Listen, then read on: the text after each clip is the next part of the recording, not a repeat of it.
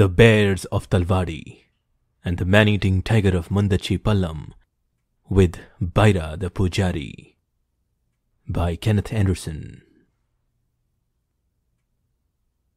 He wore only a langoti when I met him, a strip of cloth some three inches wide that passed between the thighs and connected before and behind to a piece of filthy knotted string that encircled the waist. But he was a gentleman to his fingertips, and he was and is my friend. Twenty five long years have passed since first I met Byra, and it happened in this manner. The false dawn was lighting the eastern sky above the hills that encircle the little forest bungalow of Mutur, nestling at the foot of the lofty hill of Mutur Malai, that caused the winding jungle stream known as the Chinar River to alter its leisurely course through the dense jungle in a sharp southerly bend to complete the last seven miles of its journey through the wilds before it joined the Kaveri River in rocky cataracts at Hoganaikal. It was midsummer, and the Chinar was at the time bone dry. I had come out early and was padding noiselessly down the golden sands of the Chinar in the hope of surprising a bear, large numbers of which were accustomed at that time of the year to visit the banks of the river and gorge their fill on the luscious, purple, but somewhat astringent fruit of the jumlum tree which grew to profusion in the locality. If not a bear, I hoped to meet a panther on his way home after a night-long hunt. These animals, I knew, favored closely skirting the undergrowth along the banks of the river on their lookout for prey that might cross the stream. Deer in the way of sambhar, jungle sheep, and the beautiful cheetal were fairly plentiful in those bygone days, but such graceful quarry were not my objective that morning. I had gone about a mile from the bungalow, and the light of the false dawn was rapidly fading into that renewed period of darkness before the real dawn was to be heralded by the cry of the jungle cock and the raucous call of peafowl, when I suddenly heard a surreptitious but distinct rustle from a clump of henna bushes that grew by the stream to my left. That day I carried no torch, so cautiously approached the henna to within about ten feet and stopped. Then immediately before me I noticed that a large hole, about three feet in diameter and equally deep, had been dug, into which about a foot of water had trickled through the dry sands by subsoil percolation. This, I knew, was the work of a poacher, to attract parched deer to quench their thirst, when a well delivered ball or hail of slugs from a muzzle loader would end their existence.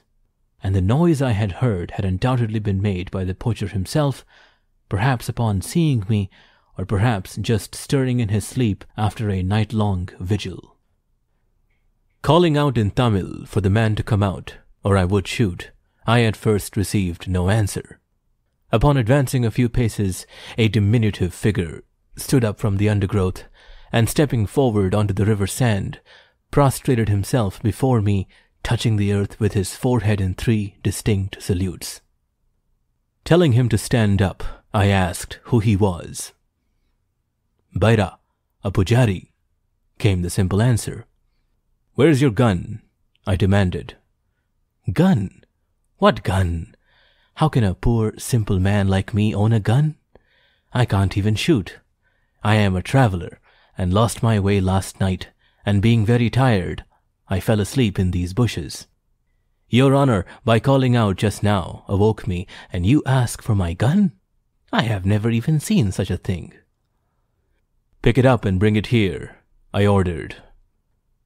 He hesitated a few seconds, then stooped down and brought forth an ancient matchlock, some yards in length, with a butt hardly three inches across at the widest point. And that is how I met Byra, the Pujari, and my friend for twenty-five years, who has taught me most of all I now know about the jungle and its wild, carefree, fierce, but lovable and most wonderful fauna. What have you shot? I asked him. Nothing, he replied. No animal came to the water last night. What did you shoot? I demanded in a sterner tone. Bidding me to follow, he walked diagonally upstream towards the opposite bank. I saw a dark heap lying on the river sand, which, upon approach, turned out to be a Sambhur doe, a great gaping hole in her neck from which the blood had flowed to stain the fair white sands. I looked at Byra witheringly, anger and indignation in my glance. Master, we are hungry, he said simply, and if I do not hunt, we cannot eat, and if we do not eat, we shall die. Squatting on the sands a few yards away, I invited Byra to sit beside me, and taking out some pipe tobacco from my pouch, handed it to him. Receiving the tobacco from me onto the palm of his hand, he sniffed it suspiciously, and then, beaming with pleasure and satisfaction, introduced the lot into his system by the simple process of tilting back his head and pouring it down his mouth. The next few minutes were spent in silence, Byra being too busy chewing my tobacco. Master will not tell the forest guard about my gun, he then ventured anxiously. It is my only way of living, and if the guard knows, he will come and take it away. Also, I will be sent to jail, and my wife and four children will starve. Now, here was a pretty conundrum for my solution. My duty as a forest license holder was to hand over poachers to the authorities. Indeed, the terms of the license actually authorized me to help in arresting such individuals. Moreover, my conscience urged me to have no sympathy for this rascal who was ruthlessly murdering female deer by the most unsporting method of slaughtering them when they came to slake their burning thirst during the hot summer months. And yet, there was something likable about the little fellow, and the degree of confidence he was now beginning to bestow upon me after our short acquaintance, or perhaps my strong tobacco had induced this trust. So, avoiding the question and a direct answer, I asked him where he lived. We have no homes, no hut, and no fields, he replied. All day we wander in the forest in search of beehives. If we find one, we are lucky, for we gather the precious honey which we take to market at the village of Penagram, seven miles away. For a small pot of honey, we may get one rupee. With this we shall buy ragi, which is a food grain, which may perhaps feed us for four days. If we don't find honey, we may be able to catch an odumbu, which is a large snake lizard. This is even greater luck, for not only will we eat the odumbu, whose flesh is very good for our strength, but we shall sell its tail to the native doctor at Penagram. He is a wonderful man, the doctor is. He cooks the tail and mixes with it some wonderful medicine. Then he mashes the whole thing into a fine powder, which he divides into paper packets and sells at eight annas a packet. These packets are sold to lovers and are very efficacious. If a man sprinkles just a pinch of this powder onto the left shoulder of the girl he loves, she will not be able to resist him. Here he looked at me sideways. If your honor cannot capture the heart of the lady you love, he continued confidentially, I will get some of this powder for you from this native doctor, free of charge, as he is a great friend of mine, and moreover, beholden to me for the continued supply of Odumbu's tails. All you have to do is to sprinkle a little of it on the left shoulder of the Mem Sahib you love, and she is yours forever and ever. Hastily telling him that I was not so much in love just then as to have to resort to Odumbu's tails, I bade him to continue about himself. Sometimes, when we are very hungry, we dig for the roots of the jungle yam, which in these parts grows as a creeper with a three pronged leaf. These yams or roots, when roasted in a fire or boiled with salt water and curry powder, are very tasty and good to eat. At night, my wife and children and I sleep in a hole that we have dug in the banks of the Anai Biddihala River, a small tributary of the Chinar River, as you may know. In the hot weather, I go shooting, like I have done tonight. At such times, my wife or one of the children, by turns, remain awake all night to give the alarm should elephants approach, when they will then leave the hole and scramble up the bank or the big tree that grows beside our shelter. For these elephants are very dangerous and sometimes attack us. Only a year ago, one of them pulled a Pujari woman out of a similar shelter while she was asleep and trampled her to pulp. Should we shoot anything, we eat some of the meat and dry some by smoking. The rest we sell at Penagram and perhaps get 15 rupees for it. With the money, we can purchase enough grain to feed the family for a whole month. Knowing this, he concluded coyly, I am sure you, the Maharaj, will not divulge the fact of my possessing the matchlock to the forest guard. Incidentally, it belonged to my father, and his father before him, who, we are told, purchased it in those days for thirty rupees. The rascal then looked at me winningly, a happy smile about the corners of his mouth, although there was an anxious look in his eyes. My sense of duty as a license holder vanished. I strangled my conscience then and there, and replied in a voice which I tried unsuccessfully to make non committal, but it was distinctly sheepish instead. No, Byra, I shall not tell, I promise you. He sprang to his feet and prostrated himself before me, his forehead again touching the ground three times in the only form of salutation the pujaris know. I thank you from my heart, and on behalf of my family, he said simply, henceforward we are yours to command. Having extracted a promise from Byra to call at the forest lodge later that day, as I wished to question him about the presence and movement of carnivora in the locality, I went my way, assiduously avoiding a second glance at the murdered Sambhur doe, for fear my conscience would come to life again and cause me to regret my hasty promise to this plausible adventurer. True to his word, Byra turned up at about ten that morning, and close questioning disclosed that just two nights earlier, a tiger had passed within five feet of him when sitting up for Sambhur at a spot about two miles downstream called Ariman Vodu, where another tributary joined the Chinar. He said that this animal lived in the locality, was an old tiger, and that his beat was very restricted, probably due to his age. Then he related an unusual story to the effect that a month earlier he had been hiding close to this very spot when a chital had appeared, which he had successfully accounted for with a single shot from his matchlock. It had been a bright moonlit night, and the chital deer having fallen in its tracks, Byra had reloaded his musket and was preparing to spend the rest of the night in sleep when a large tiger had walked out of the undergrowth and passed the dead chital, stopped, sniffed at it, and finally calmly picked it up and walked off with the prize. Byra had not dared to dispute ownership with the tiger in consideration of the fact that he was armed with a muzzle loader which took a considerable time to reload. I had no live bait with me at the time, and to procure a heifer meant sending to Penagram and probably a delay till the next day. So I decided to sit that night with Byra on the banks of Ariman Vodu after telling him definitely that at least as long as he was in my company, no deer poaching of any sort would be condoned.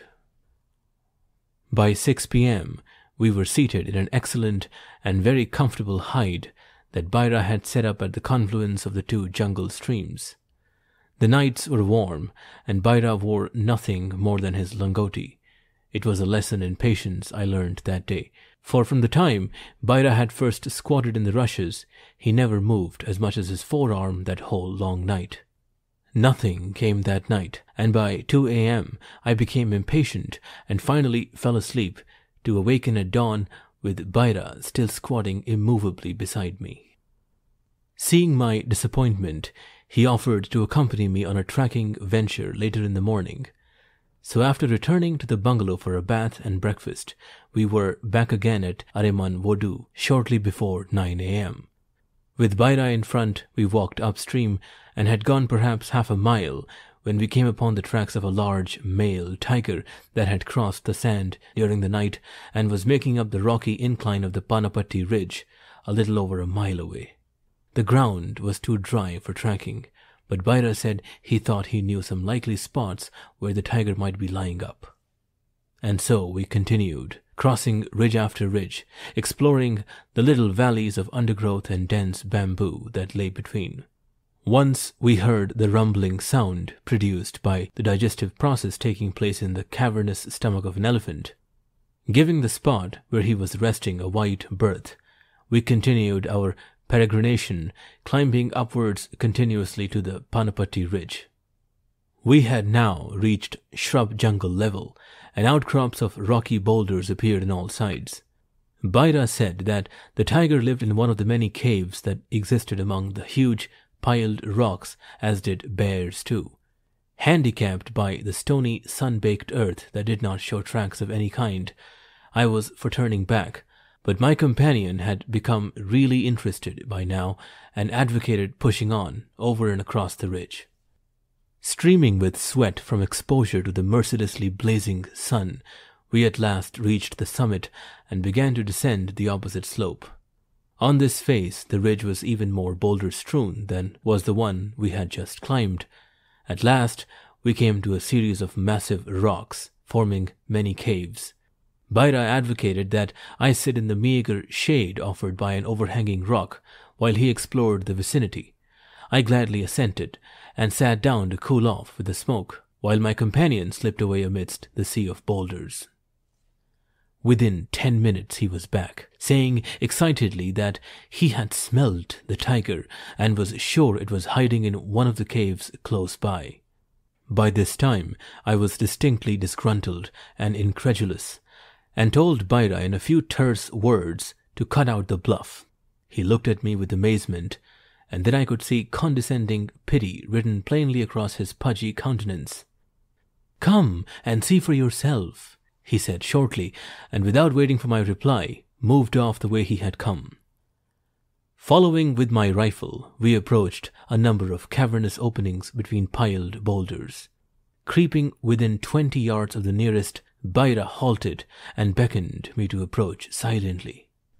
Can you smell it? he whispered. I sniffed carefully, but could smell nothing.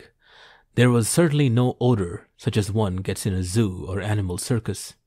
I shook my head to indicate a negative reply. Stealing some distance closer, Byra halted again. Surely you can smell it now.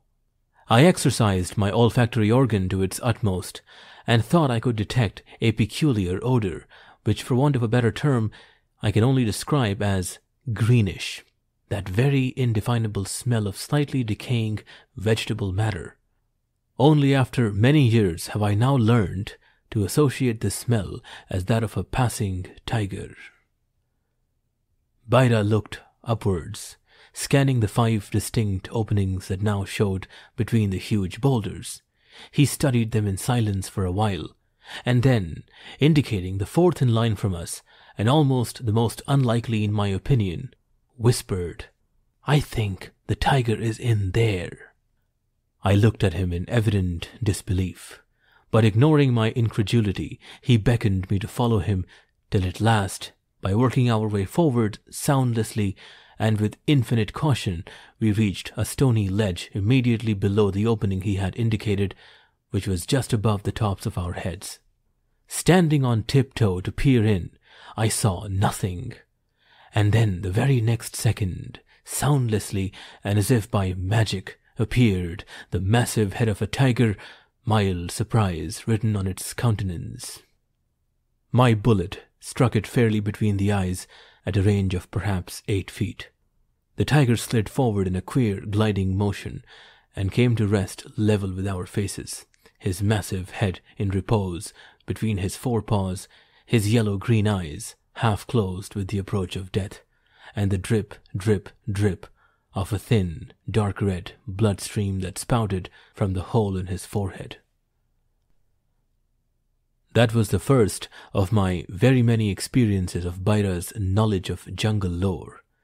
To say that I was immensely pleased at having discovered him would have been to put it very mildly, and as the years rolled by and our mutual confidence in each other increased, I have never regretted that occasion in the far distant past when I lulled my conscience to sleep. I shall now tell just two of the many adventures we have experienced together, namely that of the bears of Talvadi, in which Byra so nobly offered his life for mine, and the story of the man-eating tiger of Mundachi Talvadi is the name given to the wide valley through the center of which trickles the mountain stream known by the same name. It is situated some 11 miles north of the spot where I first met Byra and is quite one of the wildest spots of the Salem North Forest Division. The Talvadi River takes its rise in the forest plateau of Ayur, whence it dips sharply into a mountainous gorge, locally known as Taluvabeta Gorge, but rechristened by me as Spider Valley because of the species of enormous red and yellow spiders that weave their monstrous webs across the narrow jungle trail. These webs are somewhat oval in shape and sometimes reach a width of over 20 feet. In the center hangs the spider itself, often 9 inches from leg tip to leg tip. Despite its size, it is a very agile creature and extremely ferocious, and its prey, the large night moths and beautiful butterflies and insects of the forest, stand no chance of escape once they become entangled in the huge web. These spiders are equally cannibalistic and will not tolerate the presence of another member of their own tribe within their own web. I have sometimes amused myself by transporting one of these fierce creatures at the end of a stick to the web of another of its kind when a battle royale immediately ensues, often lasting half an hour, but always ending in the death of one of the other creature whose blood is then thoroughly sucked by the victor till the loathsome insect is so gorged that it can only just crawl back to the center of its web. The Talvadi stream passes down this gorge and then bifurcates, the lesser portion flowing southwards, bordered by the towering peak of Mount Guthran and the small hamlet of Kempekarai, to join the Chinar River in the stream of Anai Bidahalla. This area was once the stamping ground of the notorious rogue elephant of Kempekarai, which killed seven humans, two or three cattle, smashed half a dozen bullock carts, and overturned a three-ton lorry loaded with cut bamboos. However, that is another story. The main portion of the stream flows westwards for some miles, and bordering the forest block of Manchi, then turns southwestwards crossing the forest road leading from Anchetti to Muttur and Penagram in the aforementioned valley of Talvadi. As may be imagined, all this area is densely wooded, clothed on its higher reaches by miles upon miles of towering bamboo, and towards the lower levels by primeval forest, interspersed with rocky stretches, till it finally flows into the Kaveri River near the fishing village of Biligundulu. The whole area, from source to estuary, forms the home of herds of wild elephants, a few bison, and invariably a tiger or two, which use the line of the stream as a regular beat. The Talvadi Valley itself, abounding in rocks and very long grass, is the habitat of large panthers, many bears, and wild pig, sambhar, barking deer, and more peafowl than I have met anywhere else. My story begins at the time when Byra had sent word to me in a letter written by the postmaster of Penagram that a panther of exceptional size had taken up its abode in the valley and was regularly killing cattle all along the Muttur Anchetti road from the 11th to the 15th milestone. The letter asserted that the panther was of enormous proportions, much bigger than ordinary tiger. Having some five days to spare, I motored by the shortcut road through the forest from Denkanikota to Anchetti and past Talvadi Valley to Muttur where I met Byra. From there we returned to the 15th milestone, which was right in the valley itself. The road was really execrable, with many streams to be crossed, ruts made by cart wheels, and interspersed with boulders galore, taxing the car and its springs severely. After pitching camp, we went down to the nearest cattle patti, some three quarters of a mile distant, where I was able to hear for myself about the depredations of this panther. The story told was that it generally attacked the herds on their homeward journey to the pens about 5:30 p.m. and that it would select the largest cow among the stragglers for its victim. Several herdsmen had actually seen the animal and attempted to drive it from its kills, only to be met with snarls and a show of ferocity quite exceptional for a panther. The animal was not known to live in any particular spot, but, as I have said, ranged for about four miles along the road. It was difficult to persuade these herdsmen to sell me live baits, as although they realized the slaying of the panther would benefit them directly, their caste and religious obsessions were such as to oppose absolutely the practice of deliberately sacrificing a life in this way. Albeit by various methods, I finally succeeded in purchasing two three quarter grown animals, one of which I secured on the bank of the river itself, about a mile downstream from the road, and the second not far from the fourteenth milestone. There was now nothing to be done but wait, and as I did not deem it wise to disturb the countryside by shooting the peafowl and jungle fowl that abounded, I contented myself by strolling in the forest in other directions, both morning and evening, in the hope of accidentally meeting the panther, or perhaps a wandering tiger from the Kaveri. As luck would have it, I received news at about 7 p.m. on the third day that the panther had that very evening killed a cow belonging to another cattle patti three miles away as the herd was returning home. A runner had been sent to inform me as soon as the loss was discovered, which had accounted for the passage of time. Grabbing my rifle, torch, and overcoat, Byra and I hastened to the spot, and when still some furlongs away, I extinguished my torch, creeping forward in the wake of the herdsman who had brought us the news, with Byra following at my rear. A half moon was just raising its silver crescent above the ragged line of jungle hills that formed the eastern horizon when we turned a sharp bend in the cattle track and came upon a panther crouched behind the dead bullock that lay across the track. I had armed myself with my .12 shotgun for work at close quarters, while Byra behind me carried the Winchester but before I could raise the gun, the panther bounded off the carcass and into the undergrowth beyond. Hastily whispering to Byra and the herdsman to return slowly the way we had come, talking to each other in a normal tone to give the panther the impression that we had departed, I dived behind a wild plum bush that grew some twenty paces away, hoping the animal would return. The panther did not take too long to advertise its presence for within a few minutes I heard its sawing call from the forest before me.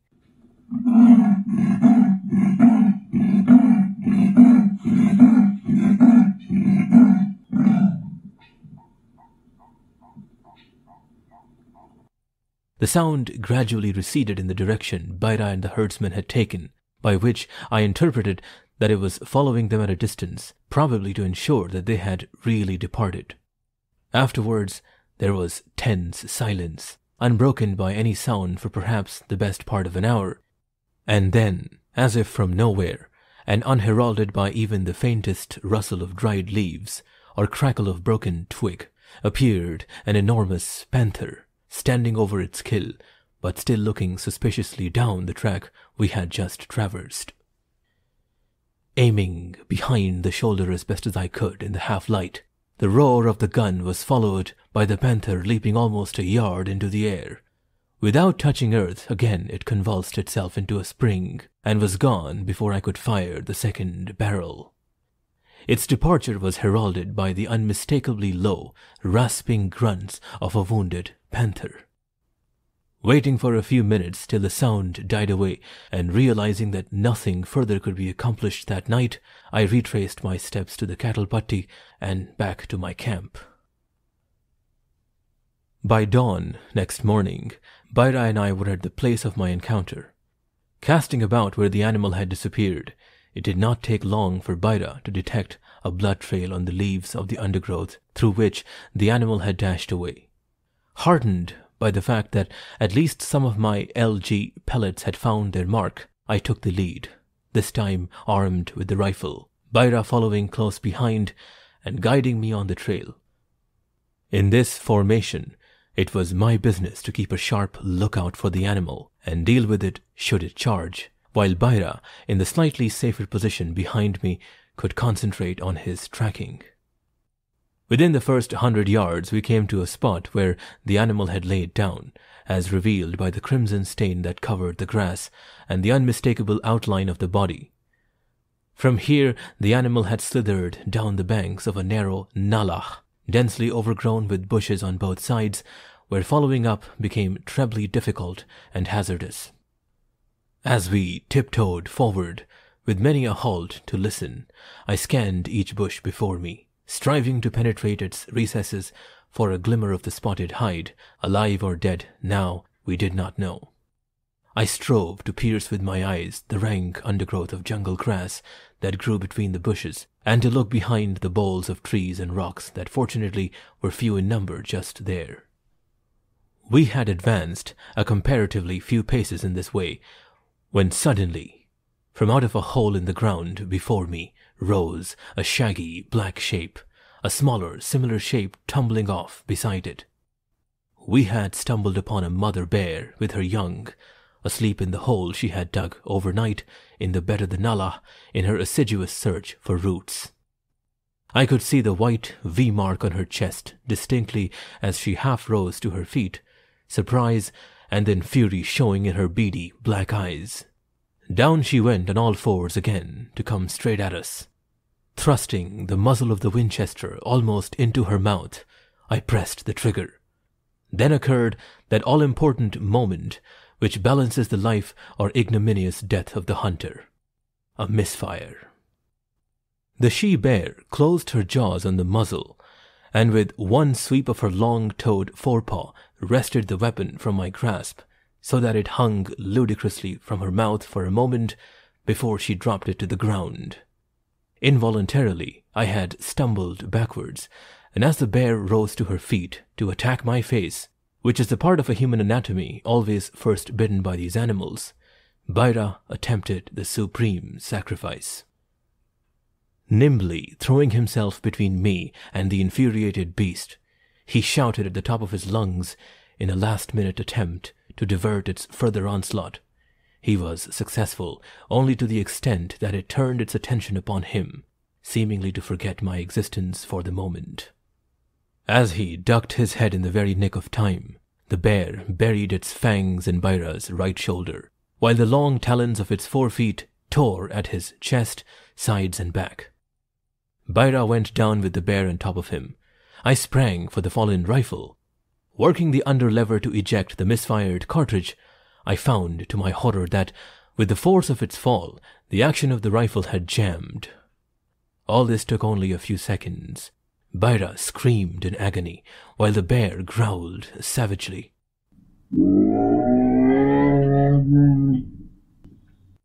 Stumbling forward and using the rifle as a cudgel, I smote with the butt end with all my might at the back of the animal's head. Fortunately, my aim was true, for the bear released Byra and like lightning grabbed the rifle in its mouth, this time by the butt, again tearing the weapon from my grasp. It then started to bite the stock savagely. By an act of providence, the cub, which during all this time had remained in the background, a surprised and obviously terrified witness, at this juncture let out a series of frightened whimpers and yelps, and as if by magic, the attention of the irascible mother became focused on her baby, for she dropped the rifle and ran to its side. There, she sniffed it over to assure herself that all was well, and as suddenly as this unwelcome pair had appeared on the scene, they disappeared, a few last whimperings from the now reassured youngster forming the last notes to that unforgettable scene of horror from which it took me days to recover. Byra was on his hands and knees, streaming with blood and evidently in great pain.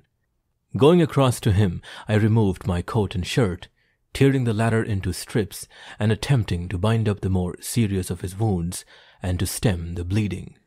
Then, hoisting him on my back and carrying my damaged rifle, I staggered back to the cattle patti where I placed him on a charpoy or cot. Four herdsmen carried him to my camp, where I poured raw iodine into the wounds. Camp was struck, and in a few moments my car was jolting the 15 miles to the village of Penagram, where at the dispensary rough first aid was rendered. By this time the poor man was faint with the loss of blood and almost unconscious. Replacing him in the car, I covered the 61 miles to the town of Salem, where there was a first class hospital in almost record time. Penicillin was unknown in those far off days, and the first week that Byra spent in the hospital, hovering between life and death, with me at his side, was an anxious time. But his sturdy constitution won through, and after the first few days, the doctors definitely pronounced him out of danger. I returned to Penagram, where Byra's wife and children had come and were anxiously awaiting news. Giving them some financial help, I also received a surprise when I was presented with the worm-eaten skin of the panther, which I had quite forgotten in the excitement and pressure of subsequent events. It appeared that the sight of vultures on a carcass had attracted some of the herdsmen of the cattle patti at Talvadi, who had found the body of the animal within 200 yards of where the adventure with the bear had occurred. It was stated to have been an outsized specimen, but as I have said, the skin was worm eaten and beyond preserving. Returning to Salem, I left sufficient money to cover Byra's treatment, expenses, and final return to his native haunts at Muttur, but it was over two months before he could go back to his family with a slight permanent limp in his right leg due to the shortening of a damaged muscle and with many permanent scars on his body as reminder of the incident. My rifle needed a new stock, and to this day Six inches from the muzzle, it bears the marks of the she-bear's teeth.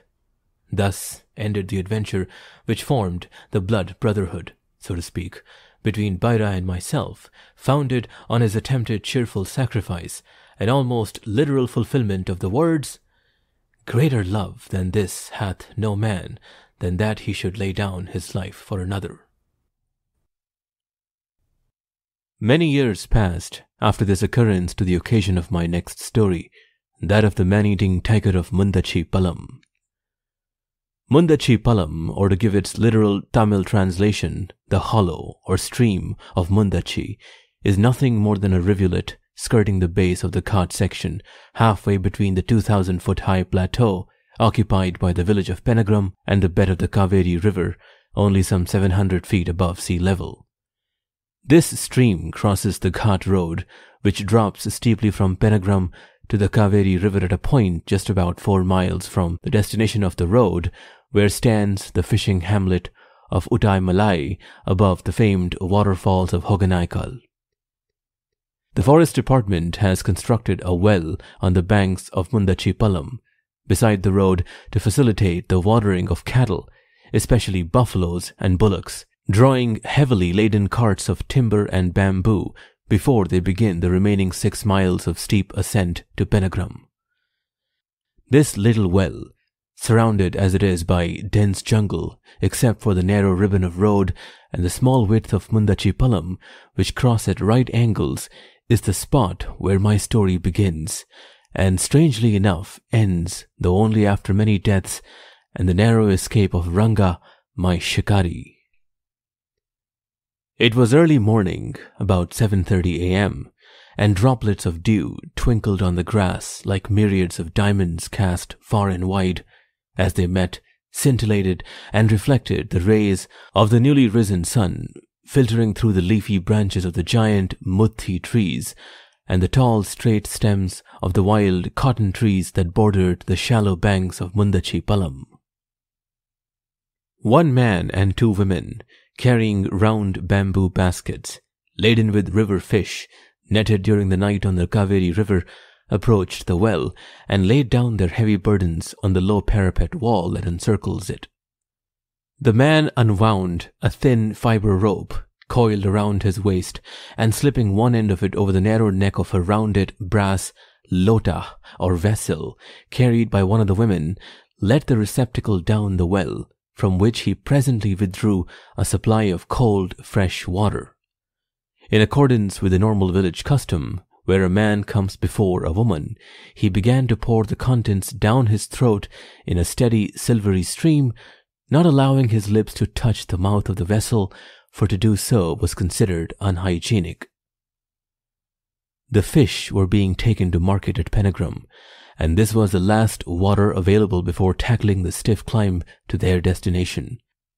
After drinking his fill, the man returned the lota or the vessel to the well and twice refilled it for the benefit of the two maidens who accompanied him. They were in their twenties and wore nothing above their waists beyond the last fold of their graceful saris, which passed diagonally across one shoulder. Their smooth, dark skins glistened with sweat despite the coolness of early morning due to the heavy load of fish that they carried for four miles from the big river. After drinking, the party sat down for a few minutes, each member producing a small cloth bag from which were taken some betel leaves, broken sections of areca nut, and semi-liquid chunam or lime of paste-like consistency. Some sections of nut were placed in an open leaf, which was liberally smeared with the chunam and then chewed with evident relish. In a few minutes, the mouths of all the members exuded blood-red saliva, which was freely expectorated thereafter in all directions. Just then, rustling and crackling was heard from the undergrowth bordering the well. These sounds ceased and began again at intervals, and thereafter there was no other sound. The trio conjectured among themselves as to the cause of these sounds, and reached the conclusion that it was some member of the deer family, probably injured by gunshot wounds, or wild dogs, or some other animal, and struggling to get to its feet. Urged on by the hope of obtaining easy meat, and undoubtedly in order to impress the females of the party, the man got up and with a stone in his hand walked into the jungle. The noise had momentarily ceased, and he penetrated further to try to find the cause of the disturbance. Rounding a babool tree that grew in the midst of a clump of bushes, he was petrified when he almost walked into a pair of tigers, probably engaged in the act of mating. Now, a normal tiger is a beast with which very wide liberties may be taken. When once out fishing, I was surprised by a tiger that broke cover hardly fifteen paces away. It was difficult to tell which one of us was more alarmed by the presence of the other at the time. Anyhow, that tiger simply sheered off the way he had come, and although unarmed at the time, curiosity and natural excitement urged me to follow it to ascertain, if possible, the presence of a kill but it just kept running before me like any other village cur till I eventually lost it among the many bushes that grew around. But there are, with tigers, certain moments when even they demand privacy. Or it may have been the urge to show off to the female of the species, an urge which I have known affect otherwise quiet men in a very surprising manner. Anyhow, this tiger definitely resented the intrusion, and with a short roar he was upon the unfortunate fish seller, burying his fangs through the back of his neck and almost severing the spinal column. Not a sound escaped the man as he fell to earth, the tiger still growling over him. The two women had heard the short roar, and recognizing the sound as that of a tiger, fled the way they had come to Uttaimalai.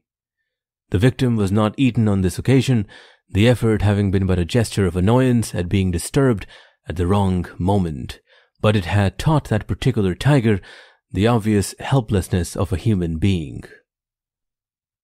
Some weeks later, a woodcutter, carrying his burden from the forest, encountered the same tiger on turning a bend in the path. Again that short roar, followed by the deadly spring, and another man lay dead, killed for no reason at all. And again, the tiger did not eat. Two months passed, and a party of women had gone into the forest to gather the fruit of wild tamarind trees that grew in profusion throughout the valley. One of them had strayed a little away from the rest. She had stooped down to lift the basket to her head, when looking up, she met the glaring eyes of the great cat. A single shrill scream escaped her before that short roar sounded for the third time, and the cruel fangs buried themselves in her throat. This time the jugular was severed, and the salty blood spouted into the tiger's mouth, and thus was born the man-eating tiger of Mundachipallam. The woman was dragged away to some bushes, and there she was devoured, except for her skull, the palms of her hands, and the soles of her feet. Three more deliberate kills followed in quick succession, one at the seventh milestone of the road itself, the other by the banks of the Chinar River near to its confluence with the Kaveri, and the third but a mile from the village of Uttaimalai itself. In all three cases, the victims were eaten or partly eaten. It was this last kill that caused the greatest consternation, leading the villagers of Uttaimalai to come in deputation to Penagram to beg the authorities to take some action to rid them of the menace that now threatened their very village. Ranga, my shikari, was there at the time and promised them that he would persuade me to help, and having made the promise, travelled the hundred odd miles to Bangalore by bus, arriving late in the evening to present his report. Now, a few words about Ranga will not be amiss at this stage. Strangely enough, I had also met him at Muttur, where I had met Byra some years earlier. Ranga was the hired driver of a buffalo cart used to haul cut bamboo from the forest to Penagram. He had initiative, however, and in his spare time was given to poaching, like Byra, with a matchlock that he hired for the occasion. He was a very different man from Byra, however in both physical and personal attributes. For he was tall and powerful compared with Byra's somewhat puny build, and showed a forceful and distinctly positive character in all his undertakings. He had spent a year in jail for the attempted murder of his first wife, whom he had stabbed in the neck in a jealous quarrel. After returning from jail, he had married again, and at the time I first met him had three children. Not being content, he later took one more wife, and now had a dozen children in all, and was a grandfather besides. He had better organizing capacity than Byra, and got things done when required. I have known him to thrash a recalcitrant man thoroughly for not obeying instructions. He has also a lucrative side to his character. Trade in liquor illicitly distilled in the forest from babool bark and other ingredients. I have myself sampled some of his produce and can tell you that it is the nearest approach to liquid fire that I have known. Lastly, he is a far more dishonest man than Byra and given to petty pilfering, especially of point 12 bore cartridges. He despises Byra, whom he looks down upon as a semi-savage. Secretly, I think he is jealous of my affection for the little Pujari, but Ranga is a brave man, staunch and reliable in the face of danger, who certainly fears no jungle animal or forest spook, as do the vast majority of other native shikaris. Unfortunately, Ranga came at a time when I was very busy and could not possibly leave the station for another fortnight. So I sent him back to Penagram with a number of addressed envelopes and instructions to write to me every second day, regardless of events. My inability to answer Ranga's first summons was perhaps indirectly responsible for two fresh tragedies that occurred before I was able at last to pick Ranga up in my car at Penagram, motor down to Muttur for Byra, and arrive at Uttaimalai, where I was joined by a third henchman, an old associate named Sauri. This Sauri like Ranga, was quite a versatile fellow, and had himself spent three months in jail for shooting and killing a wild elephant with his muzzle loader while on a poaching trip. The elephant was a half-grown cow and had approached the hide in which Sauri lay concealed. Fearing that it might really tread upon him, Sauri had aimed his musket behind its left ear. The solid ball had only too effectively done its work, and the elephant dropped in its tracks. Unfortunately for him, he was caught red-handed. I had been shooting on the Coimbatore bank at the time and had seen and photographed the elephant which incidentally was how I met Sauri. I was extremely fortunate in being able to obtain the services of these three men, as in their varied spheres and capabilities, they presented a vast store of jungle experience and ability. Byra at once volunteered to scout around the neighboring forest and along the Coimbatore bank in an effort to ascertain the immediate whereabouts of the tiger. This I emphatically forbade him to do, as being suicidal. We finally compromised by agreeing that he should be accompanied by Sauri, armed with my .12 bore gun, and another man who very surprisingly bore the name of Lucas and was a watcher in the employ of the government fisheries department. Ranga was given the job of obtaining three baits and tying them out in likely spots. The usual difficulty in obtaining animals was met, but the resourceful Ranga quickly overcame it by threats and other expedients of which I was not supposed to know. The first of the three baits was tied a mile up the Chinar River from where it joined the Kaveri, and the second some three miles further on, where Mundachipallam met the Chinar. The third was tethered within hundred yards of the well where the first tragedy had occurred. On alternative days, Byra and his party would scour the forests on one bank of the Kaveri, while I, with a local guide, combed the opposite bank. Ranga, as I have said, attended to the feeding and watering of the baits. In this way, we spent four days while nothing happened. Tiger pugs were discovered at several localities, but they were not fresh, and nobody could tell with certainty whether they belonged to the man-eater or some other animal. There was no possibility of driving the man-killer to cattle killing to avoid starvation by prohibiting the villagers from entering the forests or using the road to Penagram. To begin with, Considerable traffic existed along this road, as it formed a main artery to the many hamlets lying on the opposite bank of the Kaveri. In addition, the forests, particularly on the Coimbatore side, were plentifully stocked with game, to which the tiger could always turn in necessity. In the meantime, I endeavored by every possible means to spread the news of my presence and purpose to all surrounding hamlets in order that I might hear of any fresh kill with the least possible delay. There was then some hope, with Byra's expert help, of being able to track the animal to where it was lying up, or perhaps even to its lair. Beating was out of the question, even if there had been volunteers for the task, of which there were none, as we were dealing with a very bold and clever animal who would as likely as not add one more victim to his list from among the beaters themselves. Early in the morning of the fifth day, I received news that a man had been killed at Panapatti cattle pen some four miles away late that previous evening. He had gone out of his hut for hundred yards to call his dog, which was missing and had not been heard of again. We hurried to the spot, and Byra was successful in discovering the spot at which the man had been attacked the great splayed out pugs of the tiger were soon clearly visible across the sandy bed of the Chinar River as he had dragged his victim across and through the intervening reeds to the borders of the sloping bamboo forest beyond. Here we discovered the remains, almost totally devoured. No trees were available except for a mighty clump of bamboo that grew some thirty feet from the remains.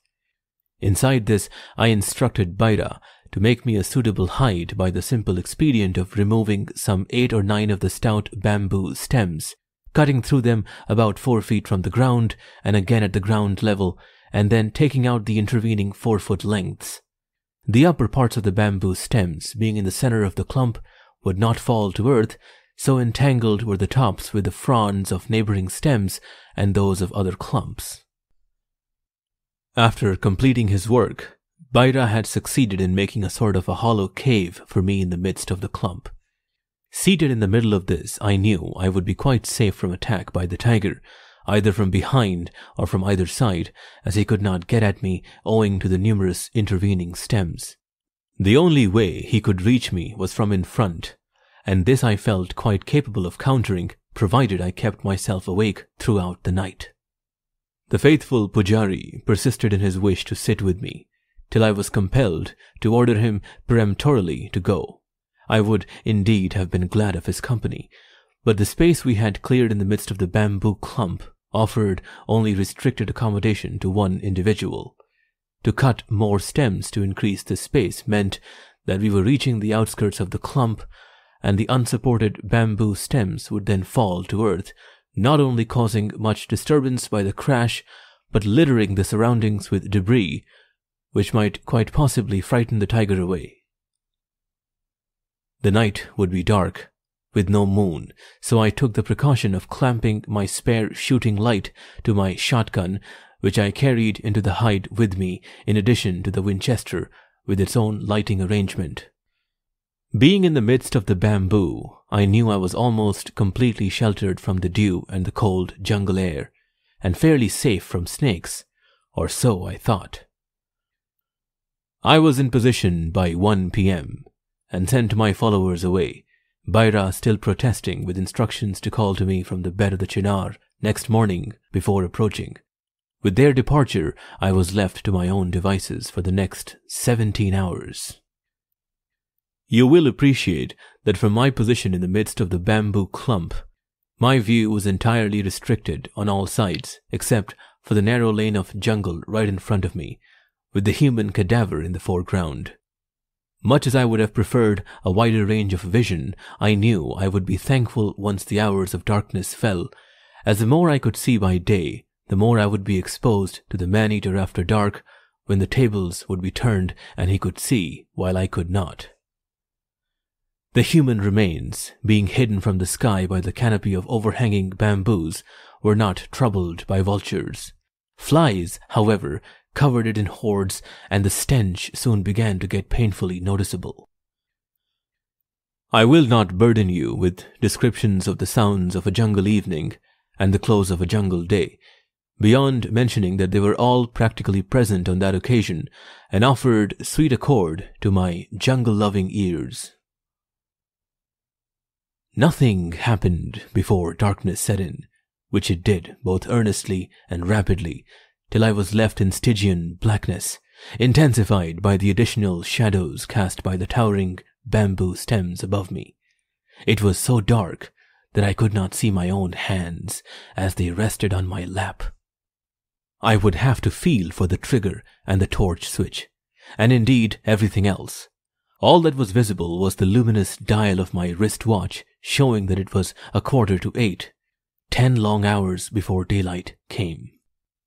I knew that during this time I would have to strain myself to the utmost in pitting my poor human and town-bred skill against that of the king of the jungles, at which he was a past master, with decades of skilful ancestors behind him, namely at listening and hearing.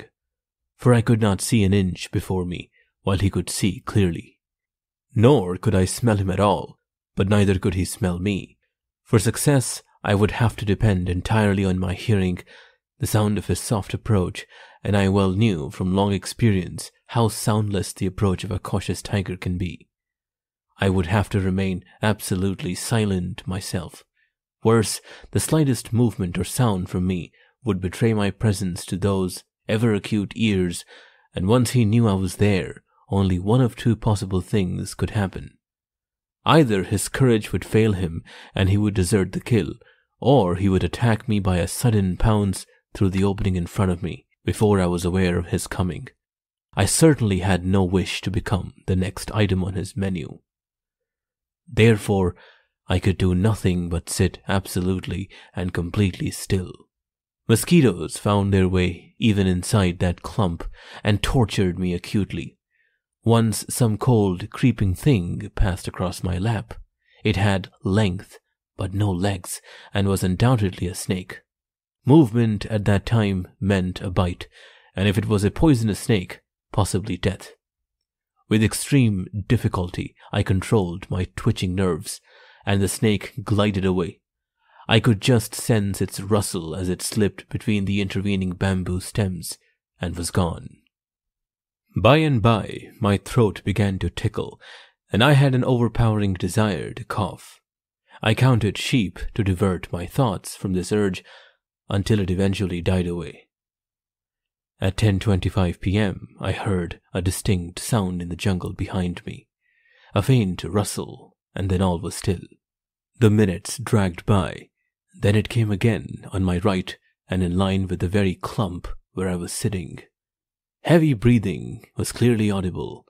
A very faint grunt, silence, another grunt, and then the quick rush of a heavy, soft body before me. Was it on the kill, or was it staring me in the face from the inky darkness, perhaps even at that instant drawing the powerful hind legs below the supple belly to catapult itself upon me, and I could not even see the end of my own nose. I had already cocked my rifle and had slowly raised the muzzle, finger on trigger, to meet the coming onslaught at point blank range. The perspiration poured down my face in sheer terror, and my whole body trembled with nervous suppression. I depressed the torch switch, and the brilliant beam blazed out upon a large hyena standing above the kill, growling to find out it was a dead man that lay there. He stared blankly at the light for seconds and was gone. I could have laughed aloud with relief and the thought that I was safe once more, at least for the time being. Anyhow, my position had been temporarily revealed, and I could only hope the man-eater was not in the vicinity to become aware of it. Hastily, I took advantage of the disturbance to swallow a mouthful of hot, refreshing tea from the flask I had brought, and quickly move my cramped limbs before resettling myself for the remainder of my vigil. I was in Stygian darkness again, but considerably refreshed and relieved of the morbid nervous tension that had threatened to overcome me a few minutes before. At ten minutes to twelve, I heard the moan of a tiger in the distance. This was repeated again at intervals of five to ten minutes, the last being at twelve twenty, and from a spot I judged to be a quarter of a mile away.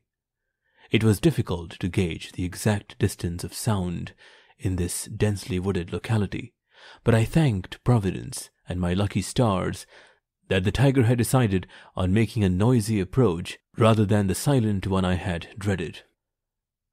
A quarter of an hour slipped by without further sign. In the meantime, the usual midnightly jungle breeze had sprung up to cause the bamboo stems to groan and creak against each other weirdly. This aroused a fresh and ominous thought in my mind.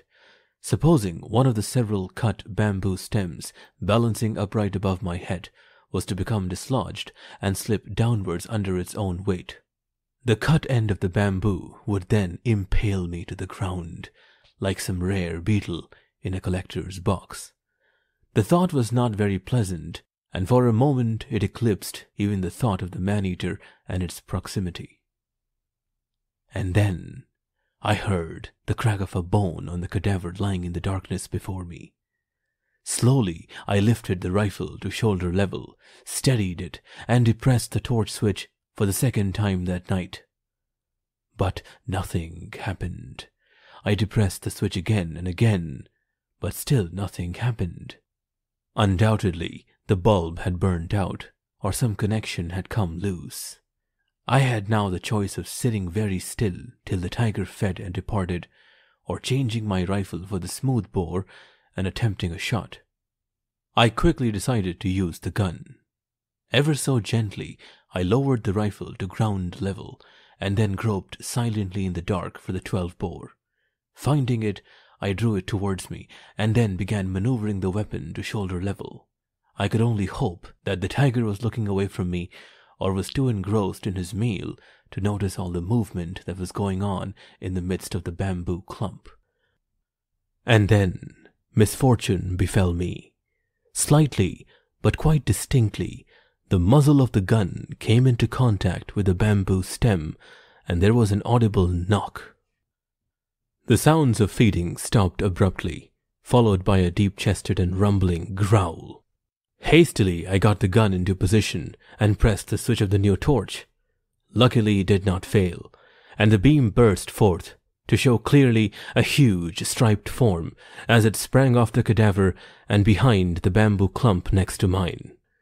From there, a succession of earth shaking roars rent the silence as the man eater demonstrated in no uncertain manner his displeasure at being disturbed and his discovery of a human being in the near vicinity. Keeping the torch alight and a sharp lookout for his sudden attack, with one hand I groped for the spare bulb I always carried in my pocket. I extracted it and kept it on my lap. Still working with one hand, I unscrewed the cover of the torch on my rifle, extracted the faulty bulb, and substituted the new one.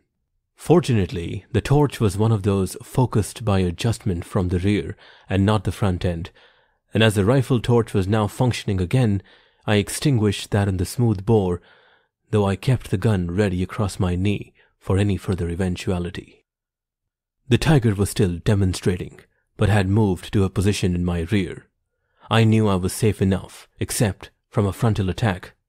To guard against this, I would have to keep the torch alight continuously, but as over five hours still remained till daylight, there was the certainty the batteries would run low, even on both torches if burnt incessantly. So I switched off the light and relied on my hearing. When things became too silent for a long stretch, I would switch on the beam expecting to see the creeping form of the tiger approaching me. But this did not happen, and he kept his distance, demonstrating frequently till past 2:30 a.m., when I heard his growls receding in the distance. No doubt he was disgusted, but by this time I welcomed his disgust.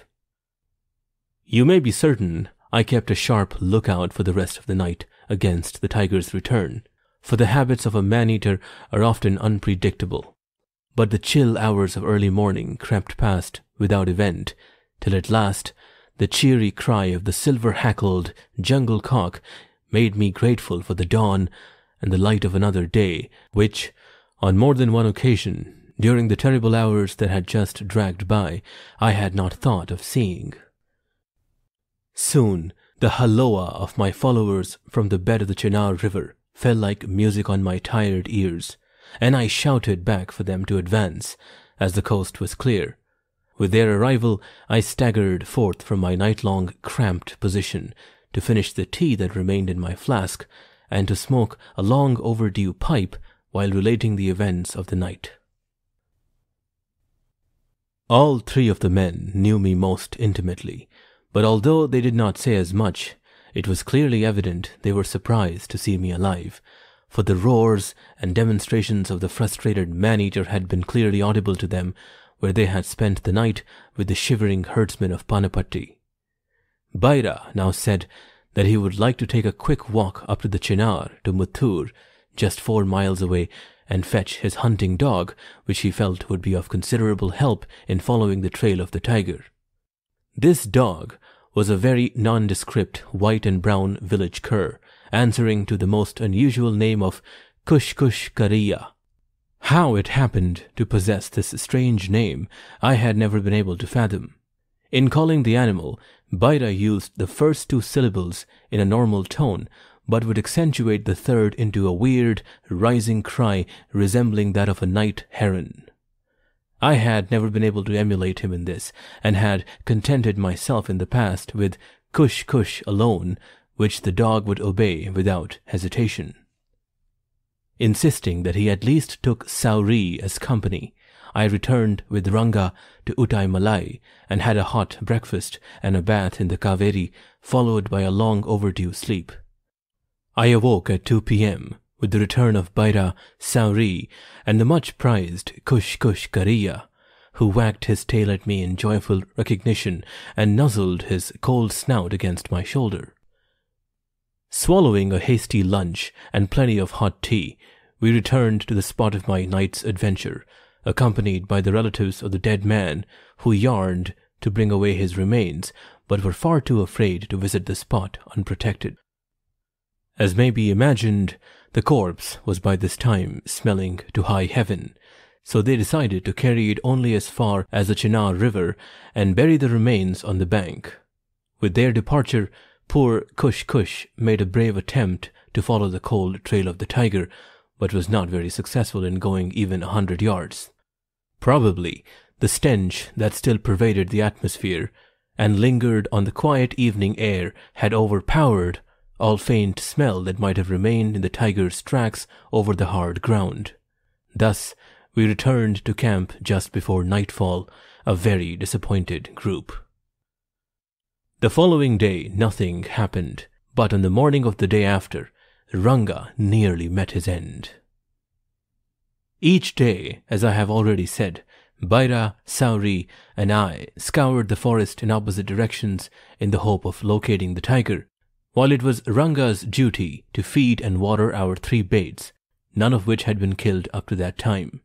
He had made an early start that morning, with another villager for company, and had already visited the bait at the well on Mundachipallam, which was found untouched as expected.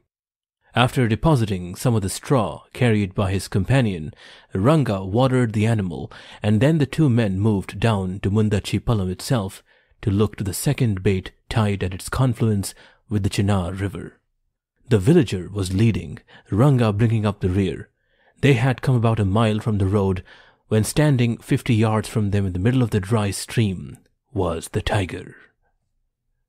The villager dropped his bundle of straw and shinned up the only tree at hand. For the few seconds it took him to climb a reasonable height, he blocked Ranga's progress, and within those few seconds, the man-eater had reached the base of the tree, reared up on its hind legs, and with a raking sweep of its forepaw removed the loin-cloth around Ranga's waist, the end of which had hung downwards while he climbed. The tiger halted momentarily to worry the cloth, while Ranga, minus his loincloth, climbed energetically, overhauling and almost knocking his companion off the tree in his efforts to reach the higher terraces and safety.